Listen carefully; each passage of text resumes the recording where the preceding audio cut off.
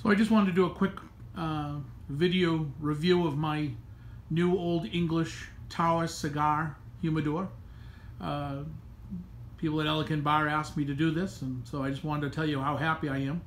It took about three people to get this thing up three flights of stairs. Well worth every bit of it. It took a, about a day to get the thing humidified. I've got a uh, Oasis Magna 2 down in the bottom, and uh, it's working great. You can see it down there and uh, it's already up to it was within 24 hours it was at 70 70 de uh, degrees humidity which was fantastic. My old humidor which is right here held about 300 and it was really getting crowded. So it was time to get something a little bit bigger and so I decided to go a little bit top end. And for the money and for what you get this is truly one of the best deals out there in my mind um, I went a little further with it and I actually installed some lighting. Truly made it a display case, so now when you walk into the house, uh, you can't help but notice it over in the corner of the dining room. And uh, truly one of the better things I did.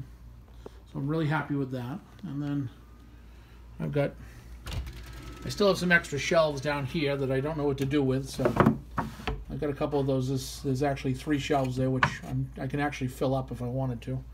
But I've got, you know, there's, there's plenty of room for different cigars, and I have I have the drawers full and categorized. Eventually, I'll I'll label them. I love the drawers. The drawers are probably one of the best parts of the whole thing. It really sold me on it.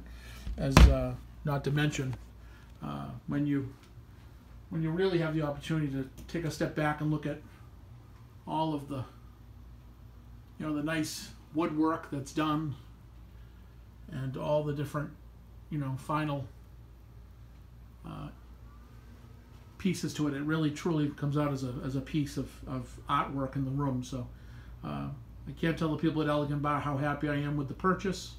Um, you can see that it's, at 70 degrees.